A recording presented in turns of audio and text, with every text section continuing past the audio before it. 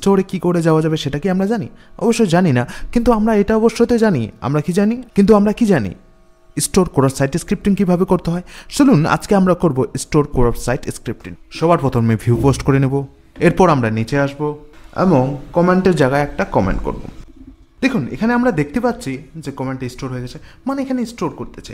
এবার আমরা ব্যাক ব্লগে ব্যাক করি এবং নিচে দেখতে পাচ্ছি আমাদের কমেন্টটি শো করতেছে। এবার আমরা এখানে এখানে আমরা ক্রস সাইট স্ক্রিপ্টের একটা পেলোড ইউজ করব। এবং আবার আমরা ব্যাক টু ব্লক করব।